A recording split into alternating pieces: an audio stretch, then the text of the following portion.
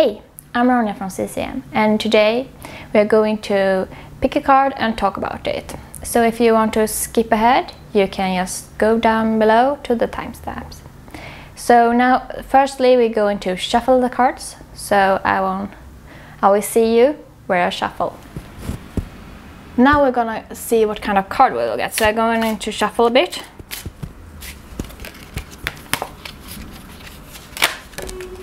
So, trust. So, the card that got picked is the trust card, uh, which is an image of a girl who is falling or jumping uh, off something like she's in in the air you don't see where how far it is down and she hold out her arms like wings and and the card like eh, it like I said it's just a trust card. And the image will like show you that this girl she jumps off or fall off but in theory she jumps off and is falling. But she trusts she trusts the process she trusts everything. She trusts that she will either fly off with her arms probably that she will fly off but also that she trusts that if she lands she will land softly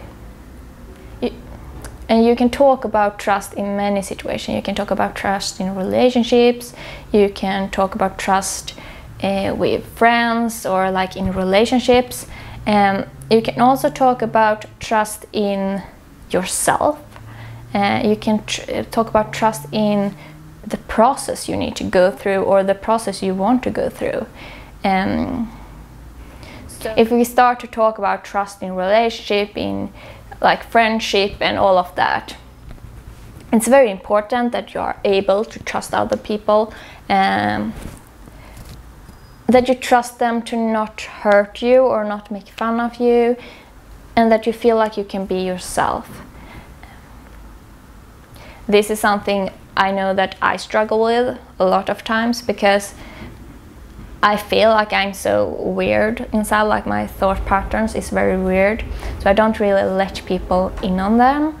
Like I don't tell always what I think or how I feel about situations and so because I don't really trust so much in people that they can handle it uh, or that they can take it. Like it's more about that I don't feel like they can take it. Like I'm scared that if I tell things about myself that people will get scared or worried or feel bad for me. And because I'm really empathic, I I do feel what they feel. So if they feel very bad about me or feel sorry for me, it gets like a burden on me. So when I talk about bad situation for me, it can like backfires that I myself feel worse about that situation just because I have talked to someone about it. But on the same time, I do have some people that I feel like I can talk to, and some people that I talk to a little bit, like I tell them some stuff, but not all of it. Um, so, like this kind of thing, like trusting other people, friendship or relationship, is something that I know I, I myself must work about, uh, work with. So, yeah, in those relationships and friendships and so on, you need to have trust in people and you need to trust that they, they can take you.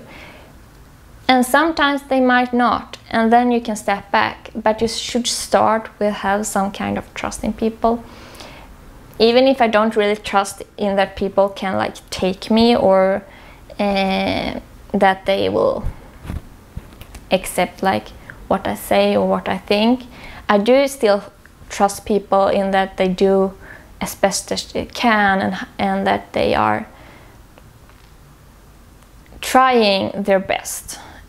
And that is also very important that you really feel like people are as good as they can be or tries to be that they don't do dumb stuff or like not nice stuff to you just because that they are like that.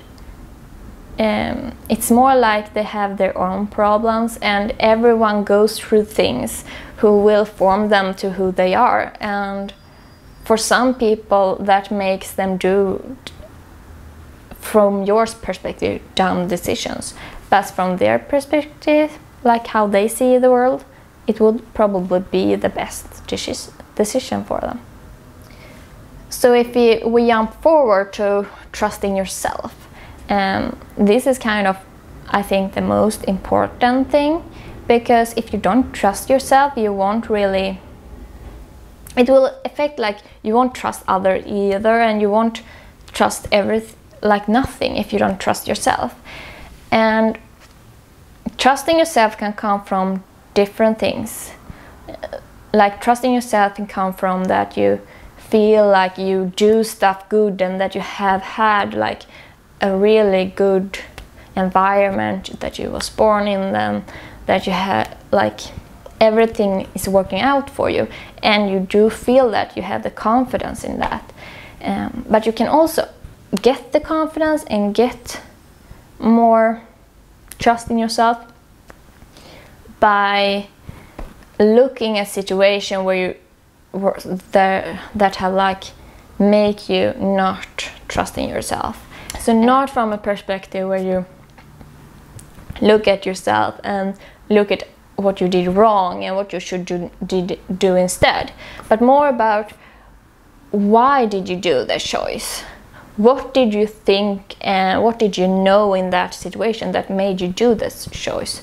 Because most of the times you do a choice based on what you feel or what your thought patterns are and that often comes from somewhere and often it isn't so bad place it comes from it mostly comes from things that has formed you and that you don't really have so much to say about so from that perspective you did actually do the things that thing that was the right decisions for you in that moment and sometimes you get the trust by you doing stuff. Like if you're afraid to do something, if you do it and you will like get trust in yourself the more you do a thing that you don't that you're afraid to do. And that I think is a really important thing that like it doesn't matter how much you're afraid of stuff. You can be afraid of how many things that is. But like taking steps forward in that direction so you aren't as afraid of it will prime like it will prime you to trust more self in like trust yourself more and will also make you less fear and i think that everyone on this planet does as best as they can and they should trust themselves because they have the potential. Even if they do bad decisions if you look off look on it objectively like they should then trust themselves that they can do better choices because they can. Everyone can do as best as they can some people does have some limits but it isn't defining you. It doesn't make you who you are, and you can still trust yourself. If you can't walk, you can maybe talk, like you can still do stuff, and you can affect people with it, and you can affect yourself. So, trusting the healing or the healing process.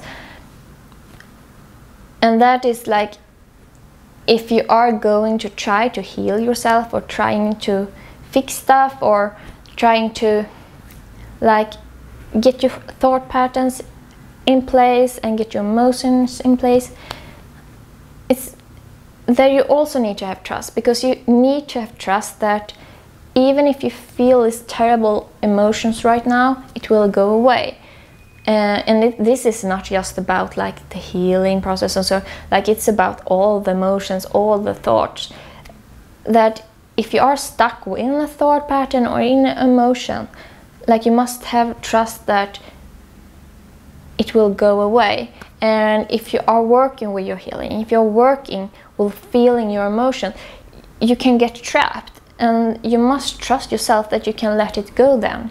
And, and sometimes and like you need to let it go also. Like if you are just stuck in it, you won't really get healed because you are just more stuck. But you must trust yourself that you will let it go and you must trust the process whatever process you are going to focus on like i like very much some people who knows me know this i love the word placebo i love that just because you think something that and feel something that that will go on and make you feel like that or make you be like that. If I think that I will get healthy eating an apple a day, I will get healthier just by eating it. Also, now we know that apple is healthy, but it goes with many things. And if you know that if I do this and this, I will get better, I will feel better trusting that will make it a lot easier to be that. So, trusting the process, trusting whatever healing process, emotional thing you are going through, trusting whatever you do, whatever strategy you use, whatever technique you use, trusting that that will help you and make it better, will make it better. Today we were talking about trust and trust in different situations. And if you want to add something, just write down in the comments below. Tell me about your experience with trust and trust in different situations. And don't forget to give this a thumbs up or a thumbs down. And I see you in the next video.